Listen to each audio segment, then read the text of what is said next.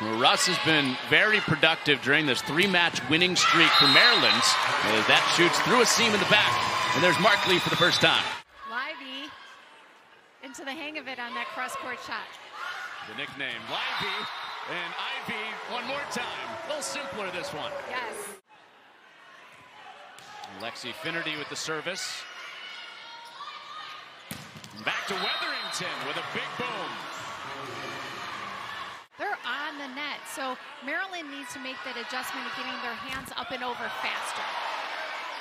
Kirshen nearly had the tape base. Dowler got to it. And down the line for Csire. Was picked up by Kirshen. And another one with Grimes coming in to help. Dowler right at that 10-foot line. First ball and third ball for Markley. It's been a couple of weeks since they've lost a set. It's riding on this point right here. And Csire blocked, and Russ can't redirect it. And that streak ends with Penn State coming on the road and taking set one.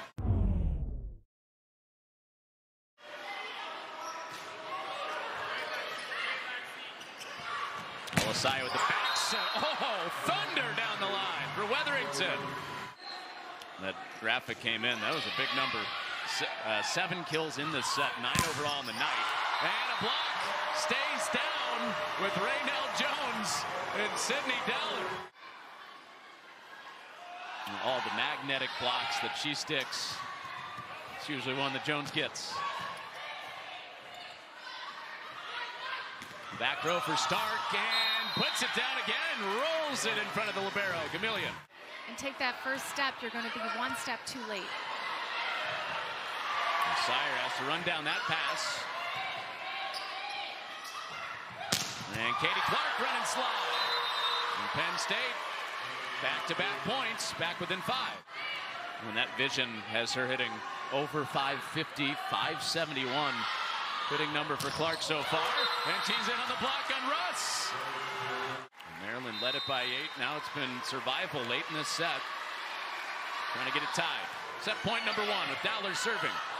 And an overpass and a big swing for Anastasia Russ.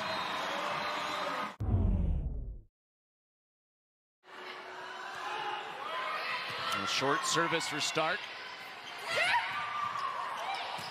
And Elisaia, another big swing for the offensive setter. It's going to be a little bit weird. The one thing he said, he, he always knew when Russ Rose was going to take a timeout. We always knew that was coming. Dali Holland out to the pin again from the middle. Know, since the Nebraska match that Maryland lost here a couple weeks ago in four sets, big emphasis on Csire being more efficient. And Cash Williams turns one back, puts Yeah. it down. And Maryland just forced a timeout trying to come back. Yeah, the offensive numbers right now look good for Penn State. Maryland is just trying to catch up for the match in this set over 530. And 250 hitting number for Maryland, and Ivy has it returned. And three straight with double figure kills for Laila Ivy. Remember, those have been three set matches, too. And that sets Penn State up to try to win it in four with Allie Holland down the middle. Not the hands overhead that time. The, the No, smile it wasn't. to the Just a smile. Kind of a shrug. Now, Holland is rejected by Russ. Trailing in the match, two to one. Allie Holland, not this time.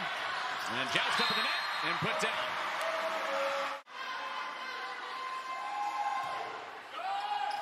And that drops in. The ace puts Penn State up by two. Have not beaten Penn State since the early 80s. Want to come back in this set and in this match to do it, but Katie Clark, other plans. There's Jillian Grimes in tandem with Holland tonight. Has served up three aces.